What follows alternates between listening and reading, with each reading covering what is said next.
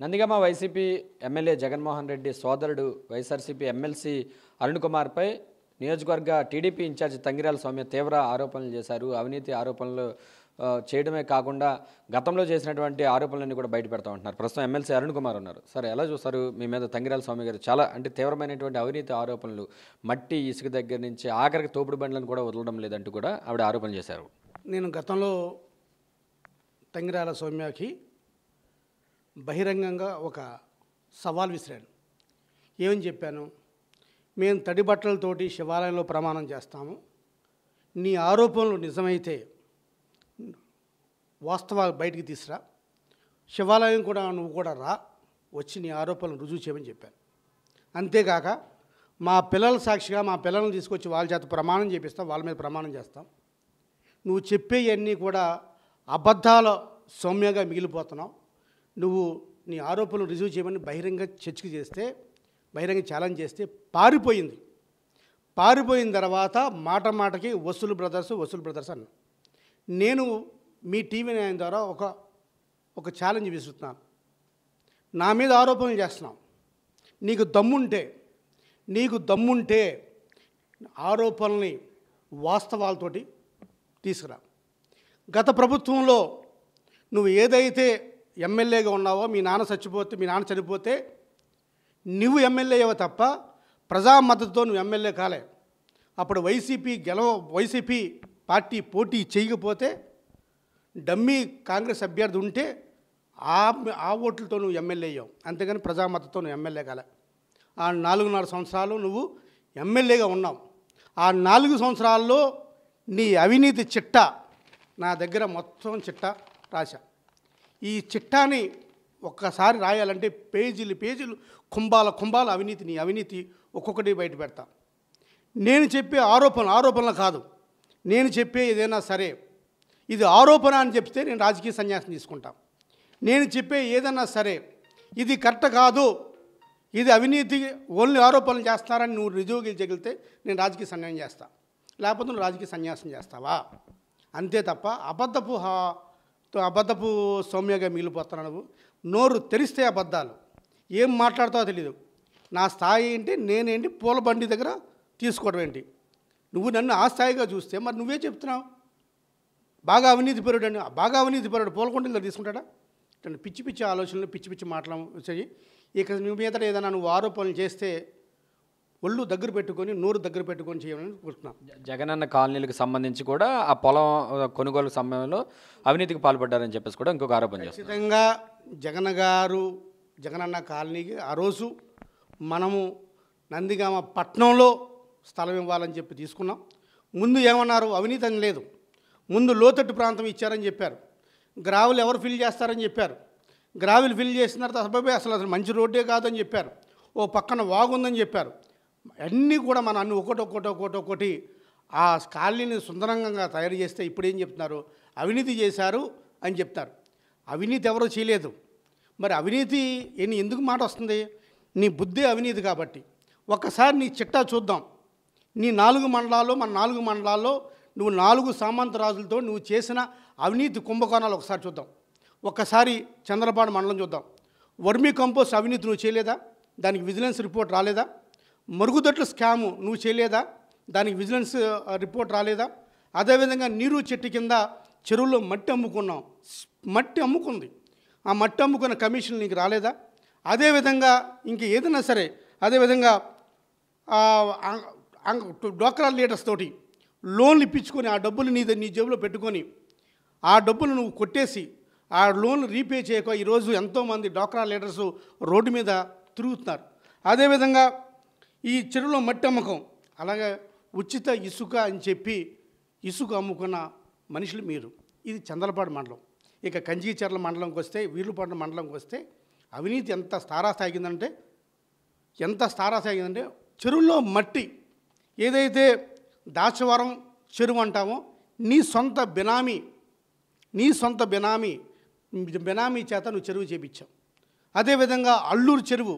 అల్లూరు చెరువు ఆ రోజు నీ సన్నిహితుడు నీ బినామీ పొన్నవరం చిన్న అనే వ్యక్తి ద్వారా వేల వేల టిప్పర్లు ఇక్కడి నుంచి మట్టి నువ్వు అమరావతి తోలుకుని అమ్ముకున్నావు.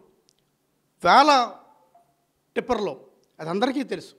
అదేవిధంగా జయంతి చెరువు అదేవిధంగా మరుగుదొడ్ల స్కాము అదేవిధంగా ఈ మరి వీర్లపాడు మండలానికి నందిగా మండలానికి వస్తే రాఘవాపురం గుట్టలు. నువ్వేం చెప్తున్నావు? రాఘవాపురం పల్లగిరి గుట్టలన్నీ కూడా మేము దోసేసామని చెప్తున్నారు. నీకు సిగ్గుండాలి. నీకు అసలు జ్ఞానం ఉందో లేదో నాకు తెలియట్లేదు. నన్ను పైగా ఆవిడ అంటుంది నేను మీ టీవీ నైన్లో ఆ జ్ఞానం లేదు. ఆయనకి నన్ను ఎమ్మెల్సీగా బోధిస్తూ ఆయనకి జ్ఞానం లేదు రాజకీయాలు ఎలా చేస్తాను నేను రాజకీయ నాయకుడిగానే చెప్తున్నాను. నాకు జ్ఞానం ఉందో లేదో ప్రజలు తెలుసుకుంటారు. ప్రజల సమక్షంలో నీకు ఎంత జ్ఞానం ఒకసారి నువ్వు బయటపెట్టు నా జ్ఞానం ఎంతో నేను బయట పెడతాను. నాకు జ్ఞానం లేదంటున్నావు కదా. అసలు రాఘవాపురం గురించి నీకు ఒక మాట చెప్పాలి. రాఘవాపురం గుట్టల్ని అమ్ముకుంది నువ్వు కాదా? నీ సన్నిహితుడు నీ పార్టీ లీడరు రాఘవాపురంలోని పార్టీ లీడర్ కమ్మవరపాలెంలో పార్టీ లీడరు చేపల మడుగు వెంకటరమణ అనే వ్యక్తి ద్వారా నువ్వు మట్టి అమ్ముకున్న మాట వాస్తవం కదా? చేపల మడుగు వెంకటరమణని విజిలెన్స్ పట్టుకుని అరవై ఏడు లక్షల రూపాయలు ఫైన్ కట్టమని చెప్పిన మాట వాస్తవం కదా? అరవై ఏడు లక్షల రూపాయలు దేనికోసం కట్టారు మీరు? నువ్వు ఎన్ని రోడ్లు నాసిరకం రోడ్లు వేసి నువ్వు మట్టి ఎక్కడి నుంచి తోలేవు? గ్రావెలు ఎక్కడి నుంచి తోలావు? గ్రావెలు ఎక్కడి నుంచి తోలావు నువ్వు? ఎంత రాఘవపురం పల్లగిరి కొండల నుంచి నువ్వు తోలేదా నువ్వు స్కామ్ చేసి నువ్వు చేసి మా మీద పెడతావంటే చాలా హాస్యాస్పదంగా ఉంది. మరో విధంగా కన్ నందిగామ పట్టణంలో ఎస్సీ ఎస్టీ నిధులు దుర్వినియోగంలో విజిలెన్స్ వస్తే విజిలెన్స్ రిపోర్ట్లో ఇది నాసిరకం రోడ్లు అని తెలిసి కాంట్రాక్టర్లను సస్పెండ్ చేసిన ఘనత నీ హయాంలో జరిగింది కదా? అదేవిధంగా కౌన్సిలర్స్ని చైర్పర్సన్ని అప్పుడు చైర్పర్సన్ని కౌన్సిలర్స్ని వాళ్ళ వాటా ఉందని చెప్పి విజిలెన్స్ రిపోర్ట్లో వాళ్ళ పేర్లు రాసిన మాట వాస్తవం కాదా? అదేవిధంగా నీ హయాంలో ఒక ఎండిఓ సస్పెండ్ అయిన మాట అవినీతి ఆరోపణలతో సస్పెండ్ అయిన మాట వాస్తవం కాదా? అదేవిధంగా ఏది చూసినా నీ అవినీతే. నువ్వు నీ అవినీతి డబ్బులతోటి నువ్వు ఎక్కడెక్కడ నువ్వు ఆస్తులు కొన్నావు అన్నది కూడా నెక్స్ట్ ఎపిసోడ్లో నేను చెప్తాను. నువ్వు బెంగళూరులో ఆస్తి ఎప్పుడు కొన్నావు? ఎక్కడి నుంచి ఎక్కడికి ఎంత ట్రాన్స్ఫర్ అయ్యింది? ఏ బ్యాంకు ద్వారా ఎంత ట్రాన్స్ఫర్ అయ్యింది? నీకు డబ్బులు ఎంత వచ్చినాయి? నీకు అన్ని ఆస్తులు కొనడానికి డబ్బులు నువ్వు ఏ వ్యాపారం చేసావని నువ్వు కొనడానికి? నువ్వు చేసిన వ్యాపారం ఒకసారి చెప్పు. నువ్వేనా? ఆవిడ చెప్తుంది. అరుణ్ కుమార్ ఎమ్మెల్సీ అవినీతి చేశాడని. ఆమెకు తెలుసో తెలీదో? నాకు రెండు వేల పదకొండులోనే నాకు కంపెనీ ఉంది. రెండు వేల పదకొండులోనే నాకు శరణ్ ఇన్ఫ్రా అనే కంపెనీ ఉంది. రెండు వేల పదకొండులోనే పదం రెండు వేల పదకొండులో కంపెనీ ఉంది. రెండు వేల పద్నాలుగు రెండు వేల పదిహేనులో నేను ఎన్ఎస్పి కెనాలు సబ్లీజ్ తీసుకుని నా మనుషుల ద్వారా నేను సబ్లీజ్ తీసుకున్న ఏడు కోట్ల రూపాయల ప్రాజెక్టుల్లో ఆమెకు కూడా కమిషన్ పంపించిన దాఖలాలు ఉన్నాయి. ఇవన్నీ మర్చిపోకు నువ్వు నీకు ఆమె ఎన్ఎస్పి కెనాలు మరమ్మతులు కాలువ ఆధునీకరణగా మూడు ప్రాజెక్టులు వస్తే ఆ మూడు ప్రాజెక్టులు ఒక ప్రాజెక్ట్ నాకు ఒక ప్రాజెక్టు మీ పార్టీ వరకు ఇంకో ప్రాజెక్టు ఇంకొక వాళ్ళకి వస్తే వాళ్ళ ముగ్గురు చేత నువ్వు కమిషన్లు తీసుకున్న మాట వాస్తవా కాదా? నీకు డబ్బులు రాలేదా? నీకు బోడాడ బోడాడాలోని మీ పార్టీ నాయకుడి ద్వారా నీకు డబ్బులు అందలేదా? నువ్వు తిరిగే ఈరోజు నీ కారు నెంబర్ లేని కారు నెంబర్ ప్లేట్ లేని కారు నీ అవినీతి సొమ్ముతో కొనలేదా? ఎందుకు ఉలుక్కుపడుతున్నావు అవినీతి అంటే? అవినీతి అంటే నువ్వు అవినీతి చేసి నా మీద వసూలు బ్రదర్స్ వసూలు బ్రదర్స్ అని. ఎస్ నువ్వు ఛాలెంజ్ చేస్తాను. నీకు దమ్ముంటే నువ్వు ఏదైతే ఆరోపణలు చేస్తున్నావు ఆరోపణలతో రా. నేను కూడా నేను చెప్పిన నీ చిట్టా ఈ చిట్టాతోటి పూర్తి ఆధారాలతోటి నేను నీ దగ్గరికి వస్తా. నువ్వు ప్లేస్ ఎక్కడైనా చెప్పు. నువ్వు టైం ఎప్పుడైనా చెప్పు. ఈ చిట్టాలోని ఒక్క పాయింట్ అయినా సరే నేను నిరూపించకపోతే నేను రాజకీయ సన్యాసం తీసుకుంటాను. నీకు దమ్ముంటే నువ్వు చెప్పిన పూలబండ్లలో కూరగాయలు లేకపోతే చెరువులో ఏదేదని చెప్తుంది. ఏదో లేఅవుట్లో. రా చూద్దాం. అసలు నువ్వు జగనన్న లేఅవుట్లు ఎక్కడ ఇచ్చావు మనం? నందిగామ టౌన్లో ఇచ్చాం నువ్వు టిట్కో ఇల్లు ఎక్కడ ఇచ్చావు? టిట్కోలో ఇళ్ళ కోసం నువ్వు ఎంత స్థలం ఎక్వైర్ చేసావు నీ హయాంలో? నీ బెనామీలు ఎంత సంపాదించారు? నువ్వు ఎంత సంపాదించావు?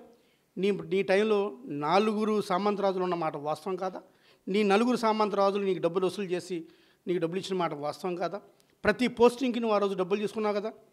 ఏ పోస్టింగ్ అయినా నువ్వు డబ్బులు తీసుకున్నావు కదా? నీ లీడరు నీ సామంతరాజు ఒక రూపాయి తీసుకుంటే అందులో నీకు పావలానో అర్ధ రూపాయి వచ్చిన మాట వాస్తవం కదా?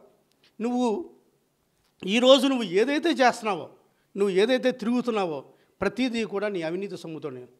మరి నువ్వు అంత బాగా పరిపాలన చేసిన దానివి నువ్వు రెండు వేల పంతొమ్మిదిలో ఎందుకు ఓడిపోయావు నువ్వు? నేను గొప్పగా పరిపాలన చేశానని చెప్తావు కదా.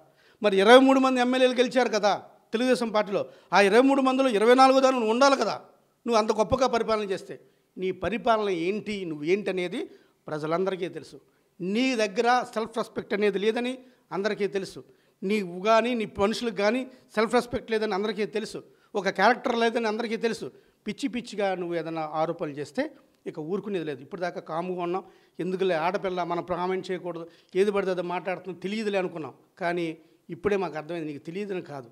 అతిగా మాట్లాడుతున్నాం. ఏదైనా సరే రాజకీయ విమర్శ ఒక అందువరకు ఉండాలి. ఈరోజు ఎంత మాట అంటున్నావు నువ్వు? డాక్టర్ గారిని పట్టుకొని తిరుమల తిరుగు తిరుగు దేవస్థానం టికెట్లు అమ్ముకున్నారని చెప్తున్నావా? సిగ్గుండాలి నీకు ఏదన్నా. నువ్వు కామెంట్ చేసేటప్పుడు నేను పూల బండి డబ్బులు తీసుకున్నానా? నీ ఆరోపణలన్నీ చిట్టా అంత ఉంది. ఈ చిట్టా అంతా కూడా ప్రజల్లో పెడతాం. నీ చిట్టాయే కాదు నీ ఆస్తులు చిట్టా కూడా బయట పెడతాను కంగారు పడకు. నీ బెంగళూరు ఆస్తులు ఏంటి నీ విజయవాడ ఆస్తులు ఏంటి నువ్వు ఎక్కడెక్కడ ఆస్తులు ఎక్కడ కొన్నావు ఎంత ఎక్కడ కొన్నావు ప్రతిదీ కూడా నా దగ్గర చిట్టా ఉంది. ఎవరో చెప్పలేదు నీ నాయకులే చెప్పారు. నీ దగ్గర నుంచి వచ్చేసి నా దగ్గర చేరిన నాయకులే చెప్తున్నారు. ఒక్కొక్కరు ఒక్కొక్కరు పెన్ డ్రైవ్ల ద్వారా లేకపోతే ఒక్కొక్కరు ఆడియో టేబుల్ ద్వారా వీడియో టేబుల్ దగ్గర ఇస్తున్నారు. నువ్వు నీతి నిజాయితీ గురించి నువ్వు మాట్లాడటానికి సరిపోవు. నీకు అర్హత లేదు బేసికల్గా. నీకు అర్హత లేదు. నువ్వు నీ కుటుంబాన్ని నువ్వు సరిగ్గా చూసుకోవట్లేదు. నీ సొంత చెల్లెనే నువ్వు ఇంట్లోంచి బయటికి గెంటేస్తావు నీ సొంత తమ్ముడిని నువ్వు ఇంట్లోంచి బయటికి గెంటేస్తున్నాను నువ్వు ప్రజలకు ఏం చేస్తావు నువ్వు?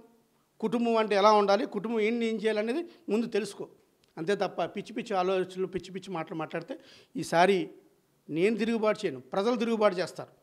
ఇప్పటిదాకా ప్రజలు అందరూ కూడా ఎందుకు అరుణ్ గారు ఎందుకు మీరు కాముకుంటున్నారు ఎందుకు కాముకుంటున్నారు? ఇంకా కాముకుండే ప్రసక్తి లేదు. మాట్లాడితే మాటగా మాట చాటకి చాట చేస్తామని చెప్పి మీ ద్వారా హెచ్చరిస్తున్నాను. సో ఇది తంగిరాల సౌమ్య ఆరోపణల మీద తీవ్రంగా స్పందిస్తున్నారు ఎమ్మెల్సీ అరుణ్ కుమార్. దమ్ముంటే సౌమ్య చేసినటువంటి ఆరోపణలను నిరూపించాలి లేదంటే రాజకీయ సన్యాసం తీసుకోవాలని చెప్పేసి కూడా సౌమ్యకు హెచ్చరిస్తున్నటువంటి పరిస్థితి. ఒకవేళ తాను చేసినటువంటి ఆరోపణలు నిజమంటే కనుక ఖచ్చితంగా రాజకీయ సన్యాసం తీసుకుంటా అంటున్నారు వైఎస్ఆర్సీపీ ఎమ్మెల్సీ మొండితో Arun Kumar. Camera person ప్రసాద్తో MP Rao TV nine Nandigama Krishna జిల్లా.